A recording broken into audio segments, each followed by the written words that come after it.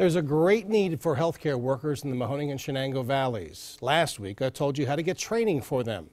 Tonight on Jobs Now, another batch of job opportunities to get hired in the field.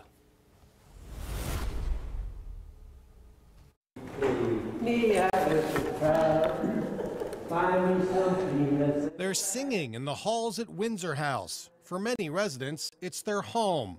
You step back. Others get admitted after having a surgical procedure and receive continued care to get them better so they can get home.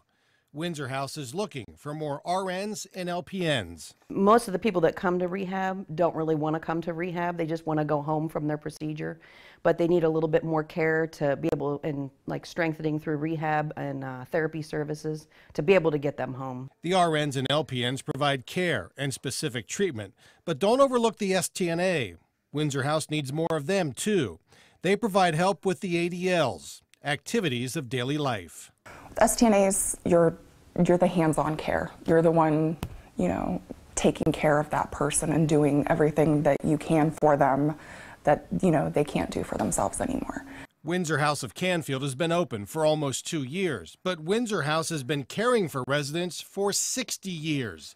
It has 12 skilled nursing and five assisted living communities and you don't ask for the appreciation, but they show it all the time. And they're, I thought it was like a hoax when I first came. You know, everybody was so happy to work here. You know, you grow to love these people and you think of them as your family and you try to take care of them like that. Windsor House has a training program to become an STNA. Plus, it offers scholarship opportunities to staff for any accredited nursing program and treats employees with the same family attitude as the residents. Well, Windsor House offers opportunity for advancement as we place all of our positions internally first before they're posted online.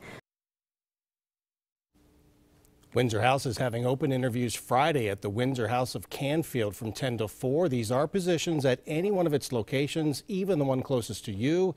It's looking for RNs, LPNs, and STNAs.